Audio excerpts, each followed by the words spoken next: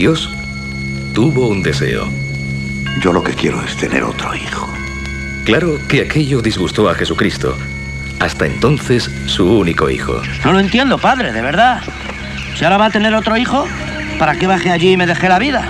Hasta el mismísimo San Pedro iba a tener sus dudas. ¿Qué quiere hacer más que meterse conmigo?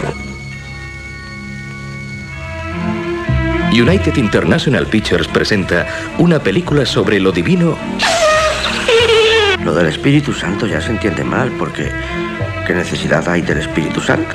Ninguna. Un gasto más. y lo humano. Yo estaba borracho cuando oí por mis adentros. ¡El apocalipsis!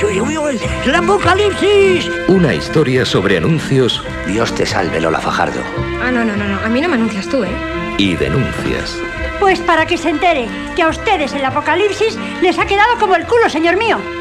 Si cada país tuviera su propio cielo, así sería el nuestro. Es que este es el cielo que queda justo, justo encima de España. Un cielo lleno de santos, de ángeles, de humor.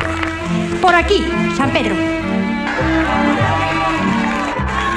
Una excepcional producción con más estrellas que en el firmamento. La última película de José Luis Cuerda. Una historia para la eternidad. Así en el cielo como en la tierra.